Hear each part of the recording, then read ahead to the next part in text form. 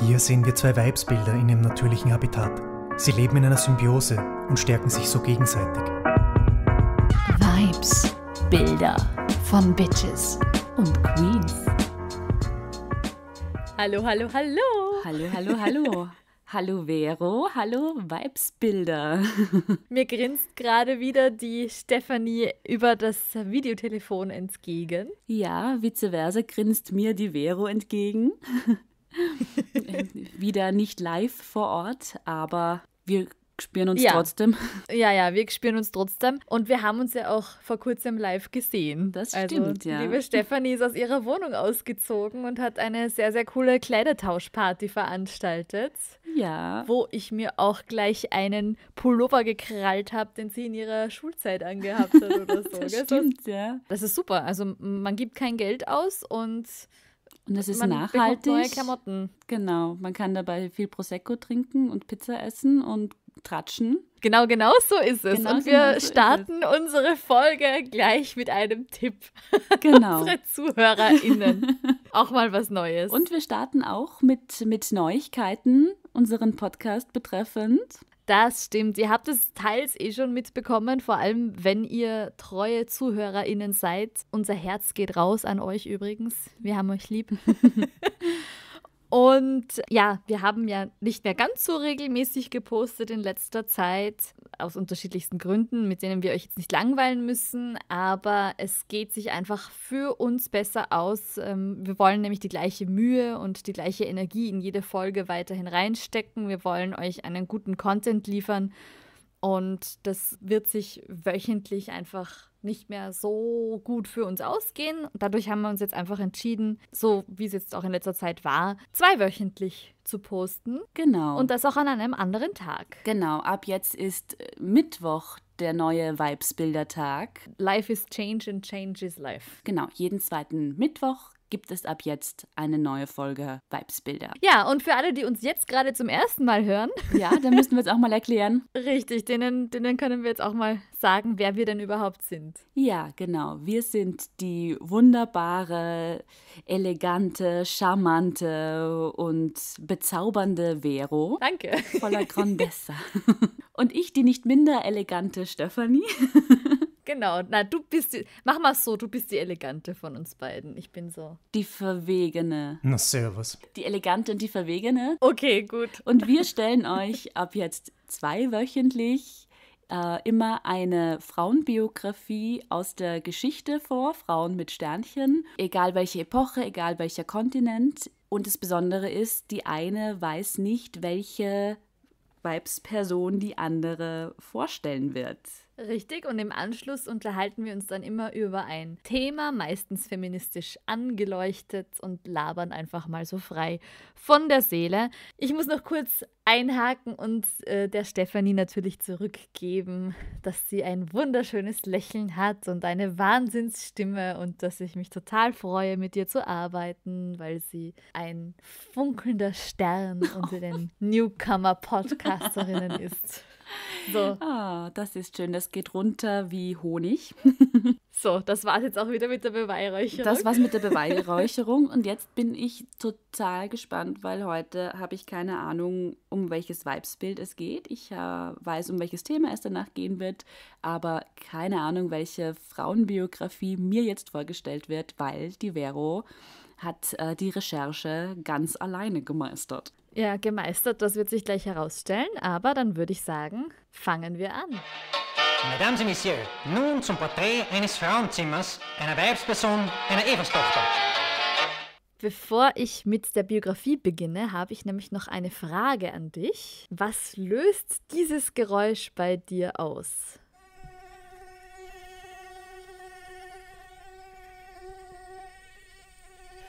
Eine Gelse. Stefanie schüttelt sich schon. Du siehst so aus wie eins dieser Kinder, die eine Zeit lang das Internet beherrscht haben, wo man den Babys Zitrone zum Essen gegeben hat und dann so das Gesicht verziehen.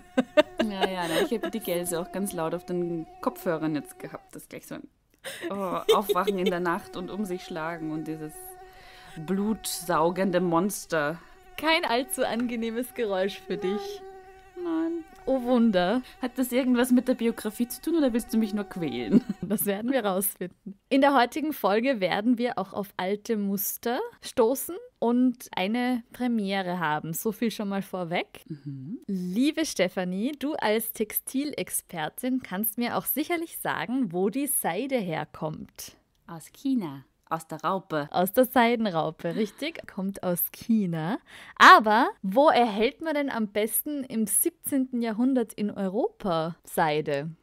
In Frankreich. Nein, nicht ganz, aber eine Möglichkeit wäre zum Beispiel die freie Handelsstadt Frankfurt. Ah. Und jetzt sind wir richtig dran, denn das Weibsbild dieser Folge wird am 2. April 1647 dort geboren und trägt den Namen Maria Sibylla Merian. Ah.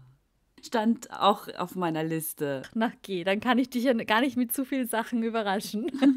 Aber ich habe tatsächlich noch nicht viel über sie recherchiert. Ich habe, glaube ich, einen, einen anderen Podcast mal über sie gehört, aber auch jetzt nicht so, weißt du, länger her. Und es ist jetzt nicht so, dass ich jetzt mit allen Details ihres Lebens wirklich vertraut wäre. Aber cool, cool. Ich verstehe. Dann hoffe ich, ich kann dich mit ein paar Dingen zumindest, mit ein paar Neuigkeiten vertraut machen. Bestimmt. Das ist unsere Premiere. Die Vero spricht zum ersten Mal von einem Weibsbild, deren Namen sie richtig aussprechen kann. Sie ist deutschsprachig. Und, und ich freue mich sehr, dass die Maria Sibylla Merian das geworden ist. Maria Sibylla Merian kommt aus einer gutbürgerlichen Familie, die übrigens auch den Reformierten angehört. Und mit dieser Glaubensgruppe sind sie dort in Frankfurt zwar Außenseiter, aber in Frankfurt war es möglich, mit unterschiedlichen Religionen sich den Lebensraum zu teilen. Also es war jetzt nicht so ein Unding, dass unterschiedliche christliche Religionen, sage ich jetzt dazu, miteinander leben. Gutbürgerliche Familie heißt, also es ist Mittelklasse, das ist jetzt nicht unbedingt wohlhabend, keine Rich Bitches, aber man weiß, wer sie sind und vor allem weiß man, wer ihr Vater ist. Der Schweizer Matthäus Merian, Kupferstecher und Verleger. Ihre Mutter war seine zweite Frau, Johanna Sibylla Heine. Frankfurt war zu dieser Zeit eine freie Handelsstadt, wo unterschiedlichste Religionen zusammenleben konnten, wie vorhin gesagt.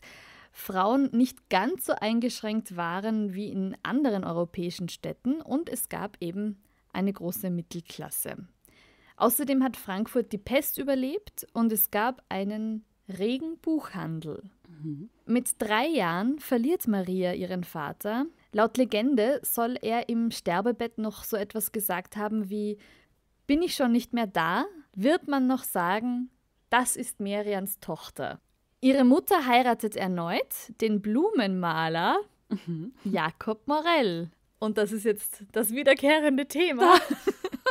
Die Blume. Die Blumen sind zurück. Ja, endlich. Oui. Für diese Zeit hat Maria Sibylla also eine relativ ruhige Kindheit, aber sie ist schon etwas seltsam.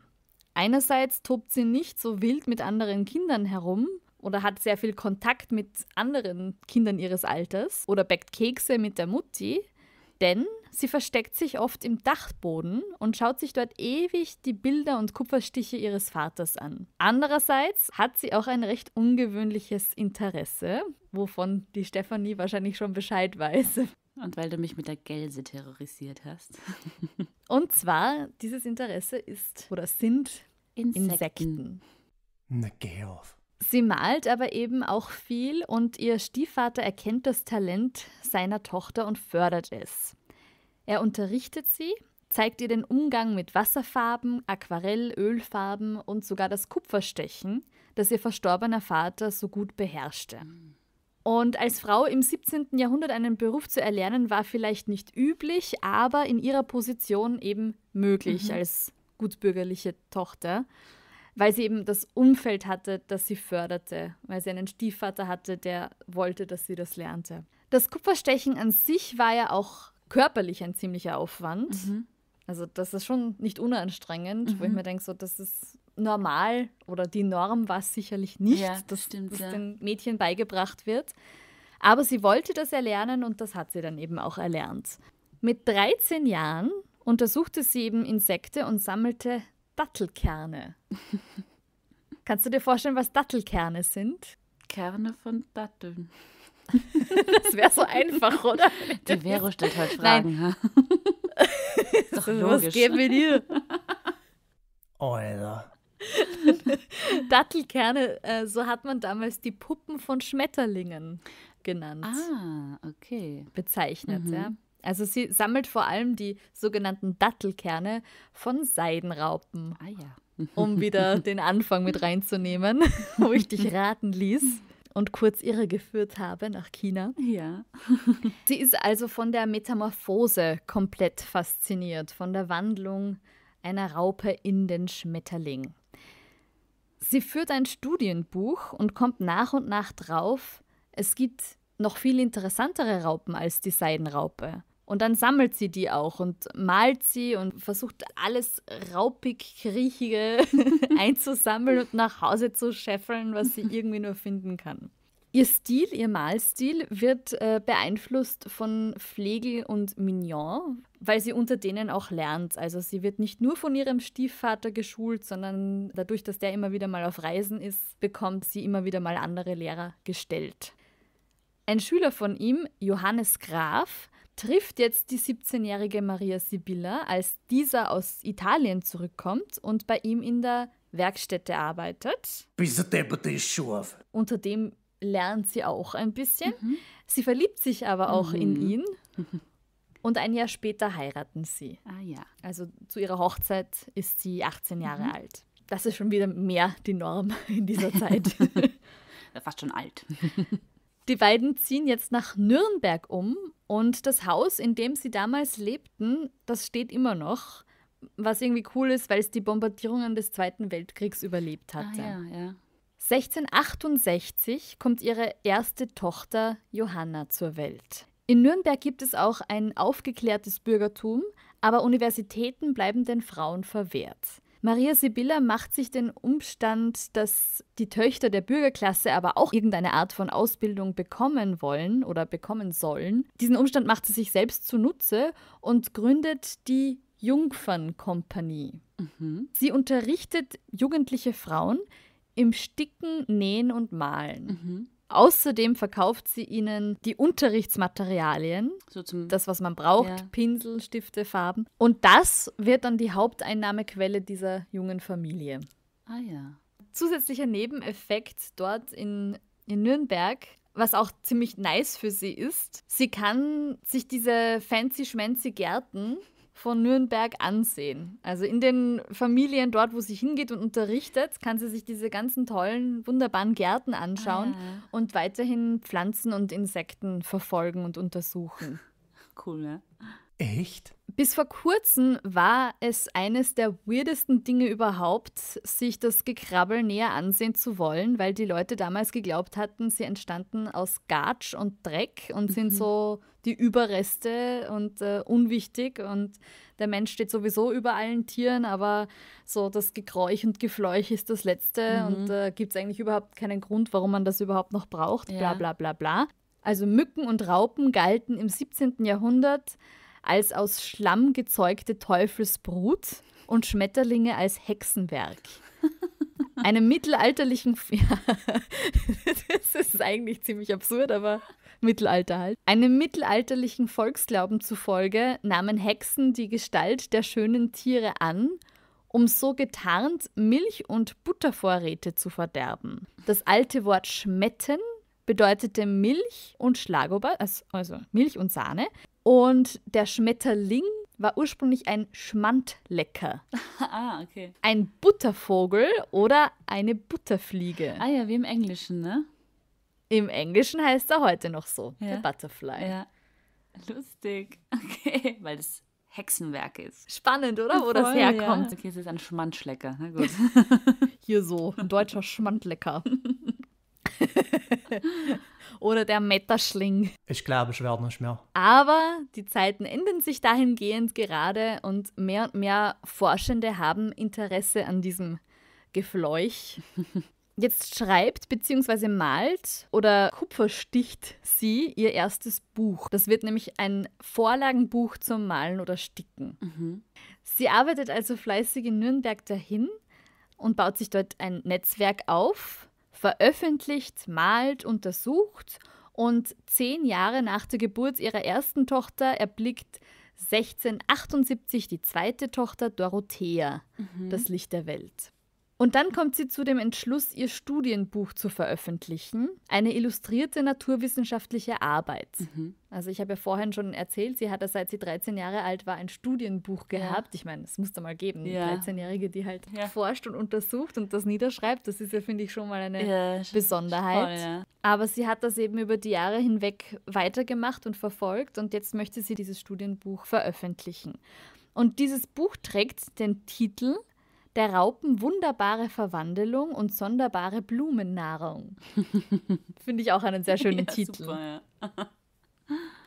Es gibt übrigens einen längeren Titel, das ist, äh, der ist auch nicht auf, auf dem Vordergrund abgedruckt, aber der vollständige Titel der ersten Ausgabe lautete Der Raupen wunderbare Verwandelung und sonderbare Blumennahrung, worinnen durch eine ganz neue Erfindung der Raupen, Würmer, Sommervögelein, Motten, Fliegen und anderer dergleichen Tierlein Ursprung, Speisen und Veränderungen samt ihrer Zeit, Ort und Eigenschaften den naturkundigen Kunstmalern und Gartenliebhabern zu Dienst, fleißig untersucht, kürzlich beschrieben, nach dem Leben abgemalt, ins Kupfer gestochen und selbst verlegt. Von Maria Sibylla, Gräfin, also das ist irgendwie so das weibliche Graf, weil sie ja den Herrn Graf äh, geheiratet hat. Matthäi Merians des Eltern Tochter. Das ist der Titel. Das ist ein, ein, ein sehr Das ist- catchy Titel. Ich würde den gerne mal auf den, auf den Spiegel-Bestsellerlisten sehen. Das stimmt, das stimmt. Okay, aber sie hat sich Gräfin genannt, weil sie den Herrn Graf, aber der, war ja nicht Graf, der hieß ja nur so, oder? Das ist so, wenn ich jetzt sage, die. Die Meierin die- oder die die- Müllerin oder so. Ja, ah, okay. genau, genau. Ah, okay, gut. Ich wollte jetzt gerade die Eliasianerin oder so. Wie würde man das bei dir sagen? Die. Eliasin. Widerliche Weibsbilder. Dieser Band sollte ihre zukünftige Laufbahn stark bestimmen. Sie bekommt sehr viel positives Feedback, erntete auch Respekt für diese Arbeit, aber nur bedingt, weil das Buch auf Deutsch rauskommt und zu dieser Zeit sich viele denken, wenn es nicht Latein ist, dann ist es nicht wissenschaftlich genug. Mhm. Also es ist so wie heute, glaube ich, wenn du eine wissenschaftliche Arbeit nicht auf Englisch rausbringst oder Ja, ja. keine Ahnung, dann können es halt einfach nicht so viele ja, lesen. dann ist nicht keine internationale Reputation. Ja, erstens das und zweitens äh, dadurch, dass sie eine Frau ist und das eben Mhm. so, kann schon sein, dass das auch ein Stigma war, Mhm. dass es dann, auf, wenn es auf Deutsch rauskommt, dass es nicht wissenschaftlich Ja, genug ist, wer weiß. Wahrscheinlich auch, wenn es eben einerseits eine Frau herausbringt und dann auch eine Frau herausbringt, die davor halt irgendwie Stickmuster herausgebracht hat. So, ne? Wahrscheinlich Ja, genau, haben da einige die Nase gerümpft. sicher. Sicher. Aber bei ihr haben sicher schon ihr ganzes Leben lang die Leute Nase gerümpft, weil wahrscheinlich sogar die eigene Mutter, ne? wenn du dann nach Hause kommst und dann halt bringt dir dein Kind da so einen Haufen Raupen Ja, und Insekten und. Spinnen vielleicht nach Hause. Sie war schon ein bisschen weird, glaube ich, und deswegen mag ich sie sehr. Fünf Jahre später kommt ein zweiter Band heraus. In diesen Bändern sind jetzt Insekten und Motten und alles Mögliche eben drin, aber was Merians Werk so besonders macht, ist, dass sie auf einer Seite das Tier, die Larve, in der es entstanden ist, aber auch die Pflanze, von der es sich ernährt hat, auf diesem Bild drauf hat. Also sie bildet alles auf eine Seite drauf ab und du siehst halt so quasi den ganzen Zyklus, Ah, ja, weil ja. du halt nicht nur das Tier hast, sondern wie ist es entstanden, wovon ernährt es sich so. Mhm. Das ist ein sehr ökologischer Gedanke eigentlich.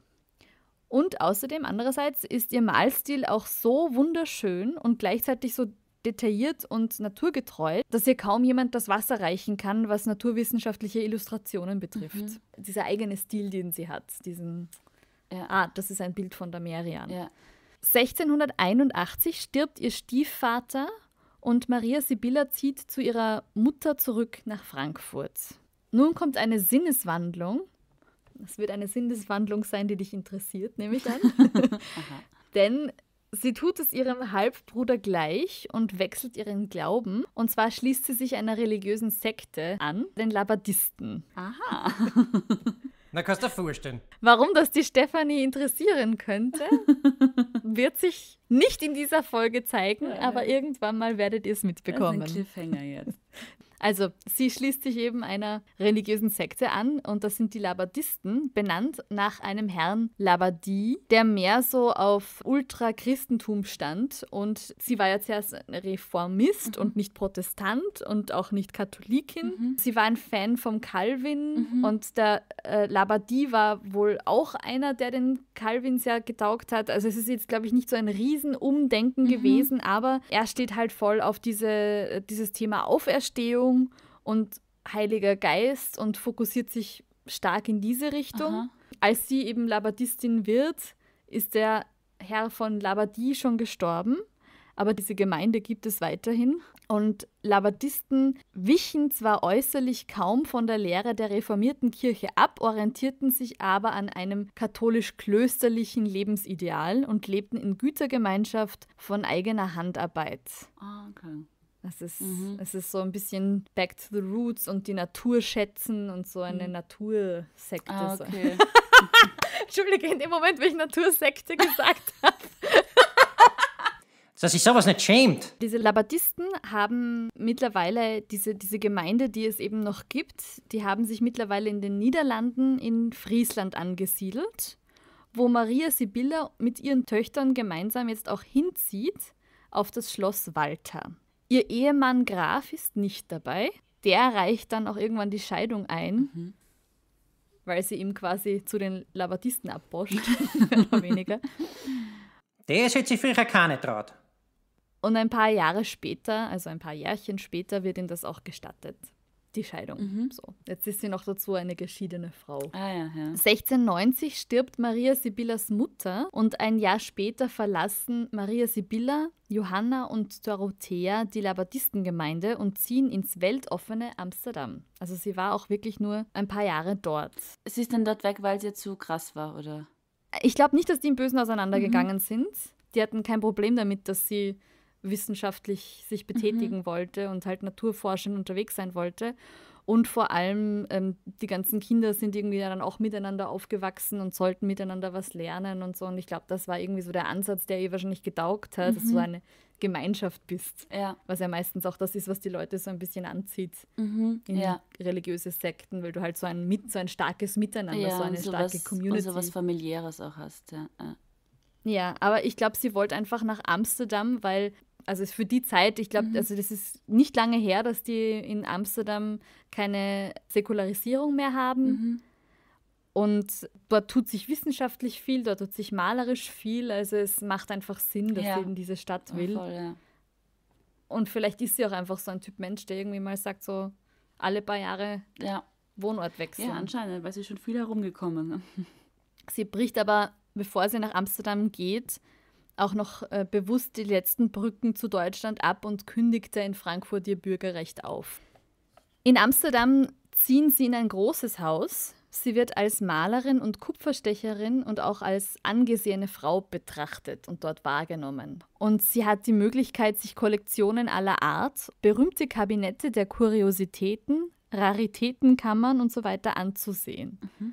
Das waren Sammlungen von Krimskrams, aber eben vor allem auch wissenschaftlich interessante Dinge. Präparierte Tiere, Skizzen, Zeichnungen, aber vor allem eben auch Schmetterlinge. Ja. Alles das, was sie interessiert hat. Ah, ja, ja. Sie baut sich auch ihr eigenes Kabinett der Kuriositäten zu Hause auf. Sie sammelt Tierchen, Tierpräparate, Skizzen, Malereien und alles, was sie zu ihrer Forschung brauchen kann und was zu ihrer Forschung beitragen kann.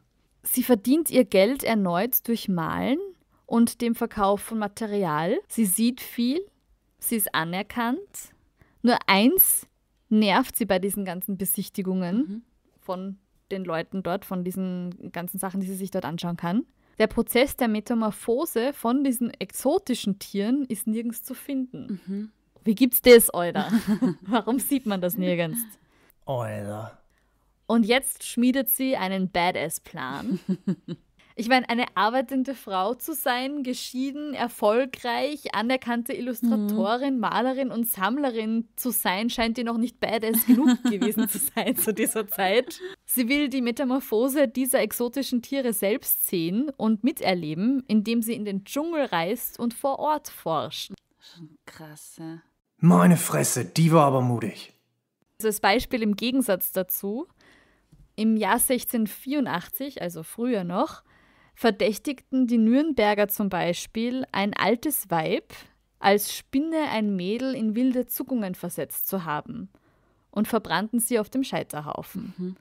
Also ich nehme an, die hatte wahrscheinlich eine Art ähm, Epilepsie, epileptiformen ja. Anfall. Mhm. Ja, Epilepsie oder sonst was, ja. Oder allergische ja, ja. Schockreaktion, mhm. weiß ich nicht. Aber die hatten das eben einer Frau zugesprochen, dass die eine Hexe gewesen sei und haben diese Frau verbrannt. Und das war gerade mal fünf Jahre nachdem, nachdem Maria Sibylla Merian ihren ersten Teil des Raupenbuches veröffentlicht hat. Mhm. Sie sitzt jetzt aber in Amsterdam und will in den Dschungel, obwohl ihr das viele Ausreden versuchen. Ja. So, spinnst du, bist du deppert, was ist, Alter? ähm, weißt du, wie heiß das das dort ist und so weiter und so weiter und so fort. Denkt an das Klima, da graseln sich die Haare, das schaut scheiße aus. Ich meine, ich habe an deiner Reaktion von diesem Gelsengeräusch vorhin schon gemerkt. Weißt du so? Das hätte man ihr vorspielen müssen, wahrscheinlich dann zu der Zeit. So ist das dort. Ja, ja. ähm, und noch dazu hat ihr das kein Forschungsinstitut oder sonst was zahlen wollen. Das heißt, sie muss sich das alles selbst erhackeln, selber zahlen. Und jetzt kommt noch etwas dazu, und zwar, dass sie keine männliche Begleitung mitnehmen konnte, mhm. wollte, mhm. whatever, sondern sie nahm ihre minderjährige Tochter mit. She Cray Cray. Sie macht sich 1699 also auf den Weg nach Surinam eine niederländische Kolonie in Südamerika. Und da gab es auch eine Labadisten-Connection. Mhm. Und deswegen meine ich fast, dass sie mit denen ja. in guten Kontakt war. Also der Lord von Sommeldijk, dessen Familie Schloss Walter der Glaubensgemeinschaft zur Nutzung überlassen hatte, das Schloss Walter, mhm. wo sie gelebt hatte, ja. war zu dieser Zeit nämlich Gouverneur in Surinam. Als sie nach einer langen und beschwerlichen Reise in Surinam ankommen, erschlägt sie zwar einerseits das Klima, andererseits können sich Mutter und Tochter aber gar nicht satt sehen an den kriechenden und surrenden Wesen des Dschungels. Auch das soziale Klima in Surinam war angespannt, denn Kolonie mhm. bedeutet, dort waren äh, die Plantation Owners und hatten dort noch ihre SklavInnen, es gab auch die indigene Bevölkerung und mehrmals gab es wohl auch Konflikte zwischen den Sklavinnen und den Indigenas. Mhm.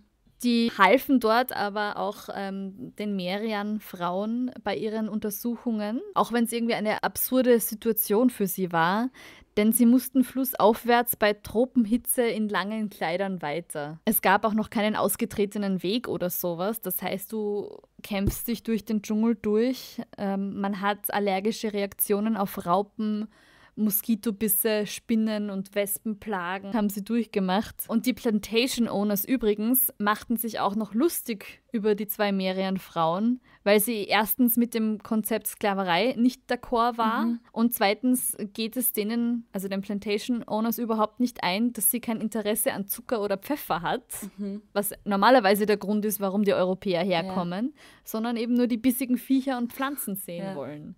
Sie lässt sich auch von den indigenen Leuten dort helfen und schreibt, so gut es geht, auch die Bezeichnungen so auf, wie die Leute vor Ort den Namen den Pflanzen geben mhm. oder welche Namen sie dort für gewisse Pflanzen ah, haben. Ja, ja. Sie versucht das so runterzuschreiben. Mhm. Sie ist übrigens besonders äh, begeistert von der Ananas mhm. und schreibt, das schmeckt wie alle anderen Früchte zusammen. Also, und zum Thema Wirkung schreibt sie auch etwas auf, was uns so ein bisschen ihre Empathie zeigt, aber vor allem auch die furchtbare Situation der Sklavinnen dort. Mhm.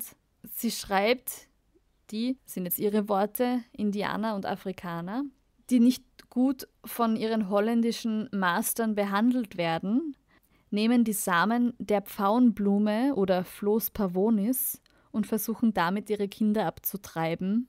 weil dann wenigstens ihre Kinder kein Sklavenleben führen müssten. Mhm.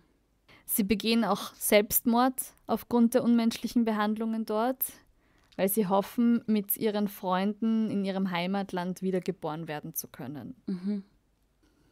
Maria Sibylla forscht und zeichnet und schreibt weiter und weiter und weiter, bis sie nach zwei Jahren Aufenthalt leider schon sehr früh die Rückreise wieder antreten muss, weil sie krank wird. Mhm. Sie bekommt nämlich Malaria. Oh je. Oh my god, she's gonna die! Ja, die Frauen packen jetzt alles, was irgendwie backbar ist, zusammen, stecken alles irgendwie ein, ähm, verstauen ihre, ihren Fund in Kisten, lagern die kleinen Tierchen in Alkohol, also die Insekten, und reisen dann mit dem ganzen Zeug, was sie da gefunden, gesammelt, geschrieben, gezeichnet haben, zurück nach Amsterdam. In den Niederlanden zurückgekehrt. Was macht sie als nächstes? Ein Mordsgeschäft für die Elite? Nein. Nein, sie will natürlich Wissen vermitteln, so gut es geht. Knowledge is power. Mhm. Ausgebrannt ist sie jetzt natürlich auch, weil sie eben jetzt noch kein Geld verdient hat, aber wie soll ich sagen, she wants to make ends meet. Also sie will jetzt nicht mega reich dadurch werden, dass sie ihre Forschungen angestellt hat, sondern sie will halt gerade mal so viel verdienen, dass sie sich ein Leben leisten Mhm. kann. Es hängt sicher auch mit ihrer religiösen Überzeugung zusammen, dass sie halt sagt, so bescheiden bleiben und bescheidenes Leben führen und so. Aber sie will eben Wissen vermitteln und, und ihre Forschungen weiter betreiben. Also veranstaltet sie eine Ausstellung, wo man all ihre Zeichnungen und Werke der Reise sehen kann. Und 1705, ein paar Jahre später, publiziert sie ihre wichtigste Arbeit. Metamorphosis Insectorium surinamensium, also die Metamorphose von surinamesischen Insekten. Und das gibt sie auf Niederländisch und auf Latein raus. Ah, ja. Ihr Ruf als Forscherin und Wissenschaftlerin ist durch diese Arbeit jetzt unkaputtbar. Für die Veröffentlichung dieses Buches hat sie auch andere angepumpt und ihnen gesagt, subscribe to my book, weil es eben auch sehr, sehr teuer war, das herauszubringen. Und sie hat es auch auf vier unterschiedliche Weisen verkauft und herausgegeben. Schmetterlinge sind übrigens in ihrer tatsächlichen Größe auch drin abgedruckt, Ah ja, ja. was auch ziemlich cool Ja. ist. Und ja, wie gesagt, das Buch ist ein Riesenerfolg, also es hat funktioniert. Die Widmung dieses Buches galt allen NaturliebhaberInnen und BeobachterInnen. Mhm. 1715 erleidet sie einen Schlaganfall, der sie teils lähmt. Und zwei Jahre später, im Jänner 1717, stirbt Maria Sibylla Merian. Am 17. Jänner 1717. Dieses Datum habe ich mir gedacht, erwähne ich, weil 17. Jänner ist auch mein Geburtstag. eben, weißt du, da spielt vieles zusammen. Und da wird sie fein, aber klein beerdigt an diesem Tag. Wie alt ist sie jetzt geworden? Doch alt, ne? Äh, 69. Ah ja, okay, 69 ja. ist sie geworden. Ja. Posthum veröffentlicht ihre Tochter einen weiteren Band. Also Mhm. alles, was sie dann irgendwie noch notiert und ausgeschrieben hat, hat äh, ihre Tochter dann weiter verfolgt und rausgegeben. Und äh, ihre Tochter war natürlich auch naturforschend unterwegs. Zu ihrer Zeit hat sie sich immer wieder beweisen müssen und ihr wurde aufgrund ihres Geschlechts auch vieles nicht so zugesprochen.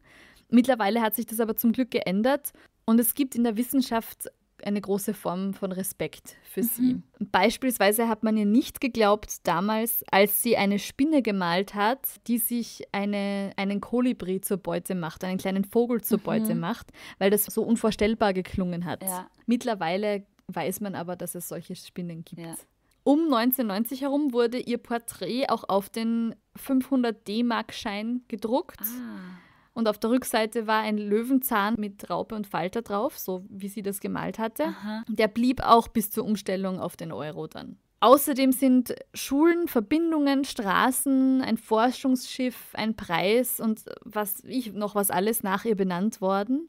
Und seit 2018 gibt es auch in Wien die Maria-Merian-Gasse. Ah. Die ist im 22. Bezirk. Ach, cool. Müssen wir mal hinfahren.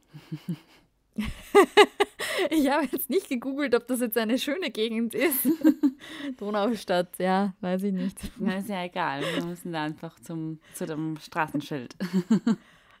Zum Straßenschild machen wir mal, machen wir mal ein Foto dort. Let's do it. Oder ähm, wenn, wenn ihr dort in der Nähe wohnt, dann fahrt doch hin, macht ein Foto Ja, und schickt es uns an den. Podcast. Ja, gerne. Das würde uns extrem Das freuen. cool. Karl von Linné nahm Bezug auf ihre Arbeiten und benannte eine Motte auch nach ihr. Das finde ich natürlich auch sehr cool. Ah, da hätte ich jetzt einen Fun Fact raussuchen sollen, weil ich glaube, es gibt eine Spinne oder sowas, die nach der Beyoncé oder so Wirklich? benannt wurde. Vielleicht finde ich es nachher noch. Oh, Wir schließen an Maria Sibyllas Biografie und ihren Lebensweg an und sprechen über Frauen in der Forschung. Juhu. Bitte, nicht schon wieder Feminismus. Ja, zum Thema Frauen in der Forschung nehme ich gleich mal vorweg. Die guten Nachrichten sind, es gibt mehr und mehr Frauen in der Forschung und die Genderlücke schließt sich, aber sie schließt sich nur sehr langsam. Ich wollte jetzt mal starten und zwar mit einem ganz, ganz kurzen Überblick über die Geschichte, über die historischen Belege für Frauen in der Wissenschaft. An und für sich gibt es seit der Antike immer wieder Frauen, die in der Wissenschaft und in der Forschung tätig waren und da Leistungen erbracht haben und Dinge das erste Mal erkannt, benannt, erforscht haben. Das war in der Antike speziell in den Bereichen Medizin, Chemie und Alchemie oder beziehungsweise Chemie, Alchemie, das war ja so ein Topf mehr oder minder.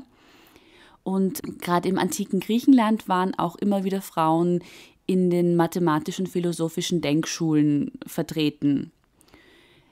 Es waren nicht viele und tatsächlich ist ihre Leistung auch nicht so gut übertragen wie oft von Männern, aber es gab sie und sie waren zu dem Zeitpunkt wohl auch auf Augenhöhe anerkannt.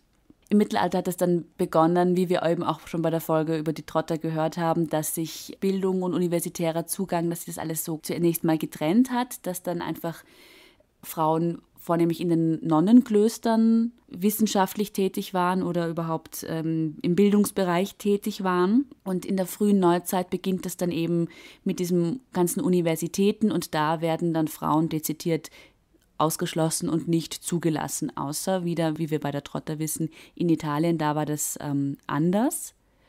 Aber diese Fernhalten von Frauen, von Bildung und von Forschung und von Wissenschaft, die hält sich sehr, sehr lange und weltweit ändert sich da erst im späten 19. Jahrhundert schrittweise etwas, beziehungsweise teilweise auch später und auch in Europa um einiges später. Also dieser Zugang zu Universitäten und zu, zu Forschung, der passiert wirklich erst sehr, sehr spät.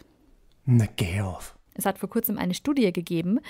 Demnach steigt der Anteil der forschenden und publizierenden Wissenschaftlerinnen in allen untersuchten Ländern und Regionen, vor allem unter den Jüngeren, was eine gute Sache ist. Die Zahl der Männer in der Forschung ist jedoch in allen untersuchten Ländern nach wie vor höher. Mit Ausnahme von Argentinien, da gibt es 51 Prozent Forscherinnen. In den meisten Ländern publizierten Frauen am wenigsten in den physikalisch-mathematischen Fächern und am meisten in den Lebens- und Gesundheitswissenschaften. Also es gibt wohl doch noch einen Männerbereich bzw. Frauenbereich. In Deutschland lag das Verhältnis zwischen publizierenden Autorinnen und Autoren bei rund 0,47. Dieser Wert hat sich aber verglichen mit der Studie, die zehn Jahre zuvor passiert ist, verbessert. Deutschland liegt aber unter dem EU-Durchschnitt. Der EU-Durchschnitt ist 0,63 und der paritätische Wert, das ist der angestrebte Wert, ist 1,0. Also das möchte man, dieses Ergebnis möchte man haben, dann wären wir bei 50-50. Ja, ja. Vor allem ist es nach wie vor so, dass Forscher immer noch präsenter sind als ForscherInnen. Oder Forscherinnen in dem Fall. Was auch interessant ist, dass sowohl Männer als auch Frauen sich, wenn sie Autoren einer wissenschaftlichen Arbeit werden, tendenziell auch immer mit Leuten ihres eigenen Geschlechts zusammentun, um das herauszugeben. Also wenn du eine Autorin bist, dann suchst du dir meistens eine Co-Autorin und wenn du ein Autor bist, dann suchst du dir meistens einen Co-Autor. Und dadurch, dass Männer international präsenter sind als Frauen, werden sie irgendwie auch häufiger in äh, Publikationen zitiert. Dann sind sie draufgekommen, äh, dass männliche Hauptautoren um bis zu 21 Prozent häufiger ein positives Framing in ihren Überschriften und Zusammenfassungen verwenden. Sie schreiben halt oft so Wörter wie ausgezeichnet, neuartig, einzigartig. Kommt Ja. bei Männern viel öfter vor in den Arbeiten als bei den Frauen, was das Ergebnis und die, die Verteilung und die Publikationen anscheinend maßgeblich beeinflusst. Trotz steigender Zahl von Frauen in der Wissenschaft ist es eben so, dass auch Frauen dementsprechend weniger verdienen, eben weil sie es schlechter framen oder verkaufen. Und irgendwie, mich erinnert das dann auch immer gleich daran, dass Frauen sich selbst irgendwie, also ich weiß nicht, ob das am, am fehlenden Selbstbewusstsein der Frauen oder an dem überbordenden Selbstbewusstsein des Mannes liegt, aber ähm, da gibt es ja auch immer wieder mal so Geschichten, dass man hört, egal welches Berufsfeld, wenn du dich für einen Job bewirbst und es stehen jetzt irgendwie zehn Anforderungen drin, dann ist es durchschnittlich wohl so, dass ähm, wenn ein Mann jetzt vier dieser Anforderungen hat, sich trotzdem bewirrt und sich denkt, ah, ich bin eh gut für diesen Job. Und eine Frau von sich glaubt, ah, wenn ich nicht mindestens acht dieser Anforderungen habe, dann brauche ich mich gar nicht erst bewerben, weil ich für diesen Ja, Job ja. sowieso nicht passend wäre.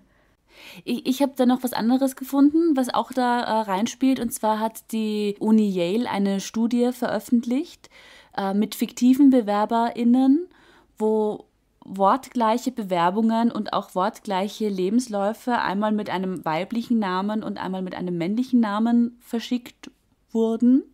Und da wurden die Lebensläufe der Frauen immer als schlechter eingestuft. Das heißt, auch bei Bewerbungen oder bei Publikationen ist es tatsächlich immer noch ein Vorteil, wenn das anonymisiert passiert. Ne? Ja, Weil anscheinend auch absolut. dieses Lesen von, ach okay, das hat jetzt eine Frau geschrieben oder das ist im Lebenslauf von einer Frau, was hat die gemacht, aha, ja, ist so mediocre und bei einem Mann wird es irgendwie noch immer höher eingestuft. Ne? Ja, also es kommt quasi nicht, natürlich nicht nur auf die Forschenden bzw. die BewerberInnen an, sondern es kommt auch auf diejenigen an, die sie anstellen. Also einerseits die Frauen, die sich da wohl durchschnittlich weniger zutrauen und andererseits, dass ihnen weniger zugetraut wird. Da arbeiten wir dran, da mit Selbstbewusstsein dahinter zu stehen und wenn man weiß, man hat eine gute Arbeit geleistet, dass man sich da eben auch traut zu behaupten, ja, das habe ich gemacht und das stimmt auch so und das, ähm, keine Ahnung, das ist eine Forschung, die ich betrieben habe und die hat genauso einen Anspruch wie der Forscher, der vielleicht ein, ein anderes Objekt untersucht hat. Das hätte sich früher keiner traut. Um eine Gleichheit an den Universitäten zu ermöglichen und um in die Richtung zu gehen und eine Form von 50-50 irgendwann mal herstellen zu können. Das hängt natürlich auch von den Vorständen in den Universitäten ab. Und man hat eben vor kurzem herausgefunden, dass es wohl nach wie vor noch ähm, sehr stereotype Rollenmodelle gibt an diesen Universitäten.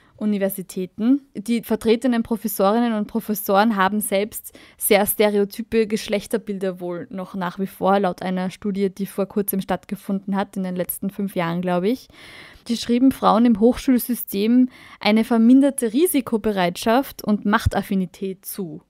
Vor allem ein äh, Deutungsmuster bei familiären Verpflichtungen böten laut der Studie beiden Geschlechtern immer noch vielfältige Begründungen für ungleiche Karrierechancen von männlichen und weiblichen Wissenschaftlern. Also Frauen ähm, hätten eben nach wie vor für die primäre Verantwortung für die Kinderbetreuung zu sorgen. Ja, ja. Das ist nach wie vor einfach totales Thema. Vor allem in vielen Vorständen bei den Leuten, dass sie halt irgendwie sagen, ah, die können nicht lang bleiben, weil die werden sicher Ja. bald Kinder kriegen und dann sind sie sowieso weg und deswegen können wir ihnen nicht so einen, so einen verantwortungsbewussten Job zustellen, weil wenn die dann eh gleich weg sind, so bla bla bla bla. Beziehungsweise es ist aber auch, äh, Entschuldige, wenn ich da kurz einhake, es ist aber auch, dass es wohl, wenn man sich die Zahlen anschaut, tatsächlich auch so ist, dass in wissenschaftlichen Karrieren, die ja oft mit Ortswechsel und viel Herumgereise und dann zwei Jahre dort, zwei Jahre in einem anderen Land, dass es da wohl ist, dass tatsächlich Frauen öfter aufgrund von Partnerschaft auf so etwas verzichten und bei Männern es oft so ist, dass die Partnerinnen da mitziehen und dann auch ihre eigene Karriere an der wissenschaftlichen Karriere des Mannes orientieren. Ja, was sicher auch ein ökonomischer Grund ist. Ist sicher ein ökonomischer Grund, ja. Ja, also Frauen, die dann eben befragt werden, die sagen natürlich auch oft, dass das ein Problem ist und dass sie das nicht cool finden, dass eben weniger Frauen irgendwie in den Universitäten da irgendwie mitbestimmen dürfen oder, oder schon mitbestimmen dürfen, aber halt nur zu einem sehr geringen Prozentteil. Aber da ist eben auch mitunter das Problem, dass sie oft nicht selbst aktiv werden und sich da was machen, weil sie Angst haben, dass sie dann einen schlechten Ruf sich erlangen könnten oder dass sie dann irgendwie sofort mhm. als, ah, das ist die Feministen-Bitch abgestempelt werden oder das ist so, die ist undiplomatisch und die bringt immer dieses Thema und so und du wirst mhm. es sofort irgendwie, also das ist irgendwie auch nach wie vor ein Stigma, wenn du dich irgendwie für diesen Gleichstellungsprozess einsetzt an, an diesen Positionen. Das ist eben nach wie vor ein Problem, weil du dich halt dreimal mehr beweisen musst als Frau. Und dass eben sich auch die Vorgesetzten nicht oft genug selbst dafür verantwortlich fühlen, die Bedingungen für den Nachwuchs zu verbessern. Deswegen dauert es so lange, weil das ist eben ein, ein Rad, das eben erst sehr langsam in Bewegung kommt. Aber es ist, wie gesagt, es kommt in mhm. Bewegung, aber es dauert einfach noch. Das Wissen über die Genderfragen ist oft beschränkt bei diesen Personen die forschungsorientierten Gleichstellungsstandards, die es gibt, in Deutschland zumindest, die DFG, waren den Professoren und Professorinnen laut Studie weitgehend unbekannt. Also das ist eben auch so eine Thematik, dass das einfach noch nicht so eine Aufmerksamkeit bekommt und so ein Bewusstsein noch nicht da ist. Dadurch könnten die Standards oft nicht zum Tragen kommen, die eben ähm, vorgeschrieben werden oder befolgt werden sollen. Und deswegen sagen halt viele an den Hochschulen, dass es an äh, übergeordneten Strukturen einfach noch fehlt, dass dieses Bewusstsein fehlt und ja, dass man da einfach an Stigmata arbeiten muss. Ein altbekanntes Thema, aber man kann es vielleicht gar nicht oft genug erwähnen, auch wenn es für viele schon mühsam wird. Widerliche Weibsbilder.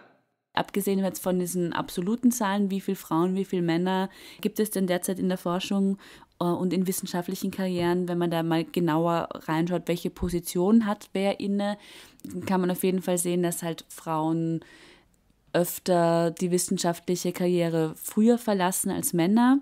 Und das ist auch im Vergleich zu Zahlen während des Studiums und Zahlen dann je nach Karriereschritt, da gibt es eine Schere, die sich halt auftut, beziehungsweise eigentlich umdreht, weil es bei ganz vielen Fächern so ist, dass es zu Beginn über 50 Prozent der StudienanfängerInnen Frauen sind und dann von Stufe zu Stufe von wer schließt das Studium ab, wer habilitiert danach, wer geht in die Lehre, bleibt im universitären Rahmen, wer geht in die Forschung, da werden dann die Prozentzahl der Männer immer höher und die der Frauen immer weniger. Also Frauen steigen früher aus wissenschaftlichen Karrieren aus und Frauen arbeiten auch durchschnittlich in geringeren Positionen als Männer bei gleicher Qualifikation. Es gibt da unterschiedliche, auch das ist jetzt nochmal kurz zusammengefasst, was die Vero eigentlich eh gerade erzählt hat. Ähm, es gibt da verschiedene Theorien, was die Hindernisse sind, warum Frauen in der Forschung wenig präsent sind oder warum die nicht so sichtbar sind und auch einfach wenige sind. Da gibt es einerseits überraschenderweise noch immer den biologistischen Ansatz, der halt sagt, ja, weil Frauen eine geringere Intellektualität haben und ihnen die Fähigkeit zu analytischen Leistungen irgendwie fehlt, dass das wohl so biologisch gegeben ist, dass Frauen einfach nicht wissenschaftlich arbeiten können. Ne? Natürlich, weil unser ganzes Blut, das ja unser Hirn versorgen sollte, haben wir ja gehört, oder? Ja, genau. Das ganze Blut, das unser Hirn versorgen sollte, ja auf einmal in unserer Vagina landet. Und genau, und einmal im Monat einfach aus dem Körper ausscheidet. das ist dann schwierig. Und deswegen können wir ja gar nicht, also wie soll denn das gehen? da bleibt aber nichts der Fantasie überlassen. Es gibt als außerdem den Individual Choice Ansatz. Das ist dieser, naja, Frauen wollen das ja gar nicht. Eben, die wollen gar nicht so viel Macht, die wollen gar nicht publizieren und im Mittelpunkt stehen. Oder es sind halt weniger Frauen, die das wollen und mehr Männer, die das wollen.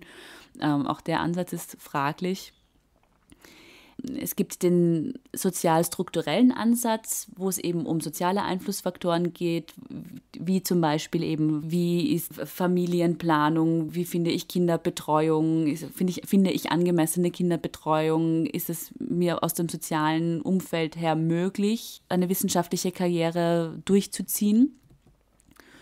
Und es gibt auch den institutionellen Ansatz, nämlich dass es eben um Geschlechterhierarchien in den Forschungsinstituten, in den Universitäten halt einfach gibt, ja, dass eben da weniger zugetraut wird und die gläsernen Decken einfach bei jeder Stufe eingezogen werden oder eingezogen sind. Ja. Genau, also auf jeden Fall sind halt eben Punkte wie eine Kinderbetreuung, ist es mir möglich, oft das Land zu wechseln. Also eine wissenschaftliche Karriere ist ja auch sehr, sehr fordernd und braucht viel Fokus und viel Zeit. Gibt es da die Möglichkeit, diese Zeit aufzubringen? Es ist auch so, dass zum Beispiel in einer wissenschaftlichen Karriere Publikationen höher bewertet werden, als jetzt zum Beispiel, wenn man in der Lehre ist. Das heißt, wenn ich dann irgendwie im wissenschaftlichen Bereich bin und da Vorlesungen halte, ist das schön und gut, aber Publikationen werden einfach höher gewertet und auch da passiert ein Geschlechterunterschied und auch bei der Ausarbeitung von Forschungsprogrammen, also quasi bei der Themenfindung, worüber wird geforscht, da sind auch Frauen oft nicht so eingebunden und damit sind einfach auch die Themen und die Forschung an sich schon männlich dominiert. Kann bitte einmal irgendjemand an die Frauen denken? Wir hatten, und das, da komme ich jetzt zu meinem äh, nächsten und abschließenden Punkt, wir hatten in der Folge über die Trotter das kurz erwähnt, mhm. dass es einen sogenannten Matilda-Effekt gibt. Magst du uns nochmal kurz erklären, was das denn genau ist? Es ist eben so, dass, wenn man das jetzt auch historisch betrachtet, in der gesamten Wissenschaftsgeschichte gibt es dieses Phänomen, dass das Werk von Frauen oft entweder nicht erhalten wurde oder ihr eine geringere Teilhabe, also quasi so eine Co-Autorinnenschaft angedichtet wurde, sodass man sagt, ja, ja gut, der Mann hat diese Forschung gemacht und da war halt auch eine Frau, die hat da mitgearbeitet, dass ihr Werk und ihr Beitrag da kleiner gemacht wird, als er tatsächlich war. Und was man historisch auch beobachten kann, ist, dass ganz oft bei Frauen in der Forschung dann ihr, ihr wissenschaftliches Werk und ihre Arbeit so in der historischen Erinnerung in den Hintergrund wandert und dafür ihr Lebenswandel oder moralische Verfehlungen oder ihr Privatleben plötzlich irgendwie interessanter wird oder das wird dann erhalten, das wird äh, festgehalten und weitergetragen und ihre eigentliche Arbeit fällt unter den Tisch. Das versteht man eben unter dem Matilda-Effekt. Dieser Begriff stammt von Margaret W. Rossiter. Das ist eine Wissenschaftshistorikerin und die hat diesen Begriff geprägt. Und dieser Effekt wurde benannt nach Matilda Jocelyn Gage, die im 19. Jahrhundert das erste Mal dieses Phänomen beschrieben hat. Weil da gibt es ja auch einen, einen Gegenbegriff mit seinem Männereffekt. Es gibt den Matthäus-Effekt. Das mhm. ist so dieser Gegenbegriff, den gibt es auch schon länger und der stammt auch aus dem Matthäus-Evangelium. Da gibt es nämlich diesen Satz, jetzt sinngemäß zitiert nur, wer hat, dem wird noch mehr gegeben und wer nicht hat, dem wird auch noch genommen. Ne? Und ähm, der Matthäus-Effekt bezieht sich halt auf den ersten Teil dieses Satzes, dass nämlich, wenn man schon hat, dann kriegt man auch noch. Und der beschreibt eben, wenn du zum Beispiel jetzt in einer reichen, gutbürgerlichen Familie aufwächst und du da schon gefördert wirst und auch schon immer gesagt hat, ach schau, der Junge, der macht so schön Kakapupu oder so und du von vornherein irgendwie so Bestätigung bekommst, dann wächst du da auch immer mehr hinein. Du wirst gefördert, dadurch wirst du besser, aber du stehst auch von Anfang an mehr im Fokus. Ja? Und das Gegenteil ist eben der zweite Teil dieses Matthäus-Zitates. Wer nicht hat, hat nichts. Wenn man nicht hat, wenn man nicht im Fokus steht, wenn man die Möglichkeiten nicht bekommt, dann kommt man gar nicht dahin, da irgendwie auszubrechen. Ja, ja das kann man irgendwie auf die ganze Gesellschaft irgendwie auch beziehen. So. Ja, auf jeden Fall, ja. Das ist ein Thema von Vermögen und von in welchem Land wirst du geboren, in mhm. welche Familie wirst du hineingeboren. Ja, das ist auf jeden Fall etwas, was allgemeingültig ist, leider Gottes.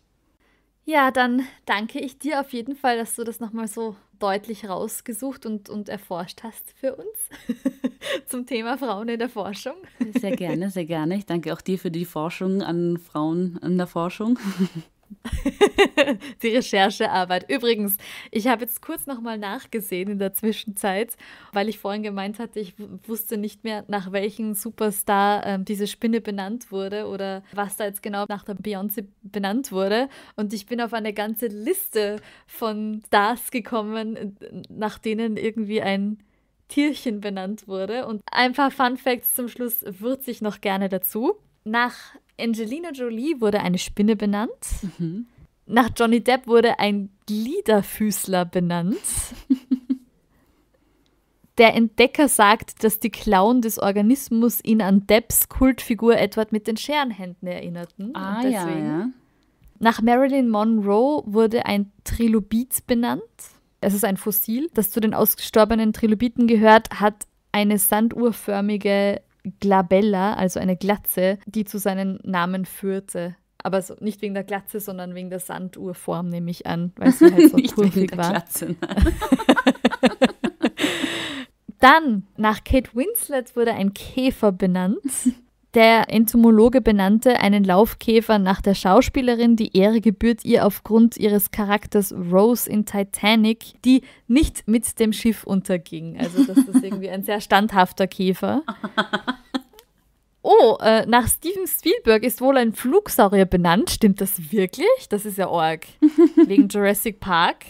Das ist aber wirklich eine Ehre, oder? Dass Ja, ein. Flugsaurier nach dir benannt wird. Damn. Das fand ich sehr witzig. Ein Hase wurde nach Hugh Hefner benannt. das ist irgendwie auch sehr passend. Jetzt ist mal er das Bunny. Genau, dann gibt es eine äh, Wespe, die nach Shakira benannt ist. Das ist eine parasitäre Wespe der Familie Brachinoidae, die veranlasst die Wirtsraupe dazu, sich zu verbiegen und ihren Bauch zu drehen, was an die Tanzbewegungen der Sängerin erinnert. Ich kann mir gleich auch was drunter vorstellen. Ja, deswegen wurde die Wespe nach Shakira benannt. Und was ich auch lustig fand, ist Austrias own Arnold Schwarzenegger ist Namensgeber für einen Käfer. Grund hierfür sind die bizepsartigen Beine der männlichen Käfer. Was ich irgendwie auch sehr süß finde. Da habe ich auch sehr grinsen müssen. Ja, es gibt noch vieles Lustiges. Aber meine Beyoncé, die ich zuerst geglaubt hatte, nach ihr wurde eine Pferdefliege benannt. Es klingt auf jeden Fall auch nach einem sehr spannenden Rabbit Hole, in das man mehrere Tage abtauchen kann. Fans und WissenschaftlerInnen mit Humor gibt es nach wie vor. Das ist doch schön. Es hat sich sogar gereimt. Und was sich reimt? ist gut. Fans und WissenschaftlerInnen mit Humor gibt es nach wie vor. Alter. Eine kleine Sache möchte ich noch anfügen und zwar ist es ein Lied für unsere Bitches und Queens Playlist Ah, und ja. zwar werde ich diesmal Genre wechseln und weil ähm, Maria Sibylla Merian so ein großer Fan von der Metamorphose war, Mhm. Nehme ich diesmal kein Gesangsstück, sondern schwenke auf Klassik um. Ich hoffe, das wird jetzt nicht zu viele ZuhörerInnen verstören, aber ich bin ein Philip Nein. Glass-Fan und ich muss es tun. Oh nein, also da bekommen wir sicher noch viel mehr ZuhörerInnen dazu, wenn wir das jetzt auf die Liste packen. Das ist doch toll. Ja, das ist ein cooles Kompositionswerk und das nennt sich Metamorphosis und deswegen landet das diesmal auf unserer Playlist. Cool. Ja, dann können wir überleiten. Ja, dann leiten wir über, Vero. Ich danke dir sehr, sehr herzlich für diese spannende Folge. Wir erzählen euch jetzt noch kurz, was ihr machen könnt, um uns zu unterstützen und um auch in Zukunft keine einzige Folge zu verpassen und gleich informiert zu werden, wenn was Neues rauskommt. Richtig. Das Wichtigste überhaupt ist, dass ihr euren FreundInnen davon erzählt, vor allem diejenigen, die Podcast-Fans sind, Ja, dass ihr genau. uns cool findet. Erzählt es Ähm. weiter, leitet es weiter, verbreitet die Botschaft, dass es da Vibesbilder gibt, die einen Podcast Das wird machen. gleich ganz religiös bei dir. Verbreitet die Botschaft. Ich leite schon ein in die nächste Folge. oh, ja, hahaha, schon wieder so ein Cliffhanger. Cliffhanger, Spoiler. Ähm, und was uns auch sehr, sehr hilft, ist, wenn ihr auf der Podcast-Plattform eurer Wahl uns äh, folgt oder abonniert, Abonniert, und liked. bewertet und liked und die volle Sterneanzahl vergebt. Es gibt auch andere Möglichkeiten, uns zu erreichen. Und zwar geht das über E-Mail. Es gibt eine E-Mail-Adresse, die an uns beide geht. Und zwar ist das info at vibesbilder-podcast.com. Genau, wir freuen uns über eure Nachrichten, auf eure Nachrichten, über eure Nachrichten und mit euren Nachrichten. Und wir hören uns in zwei Wochen wieder. Genau. Es gab ja schon einen kleinen Hinweis darauf, in welche Richtung es gehen könnte. Ich freue mich immens. Ja, jetzt könnt ihr drüber nachdenken, zwei Wochen lang und raten. Und bis dahin sagen wir euch, all ihr Bitches und Queens da draußen, Lasst es euch gut gehen. One, two, three, jump!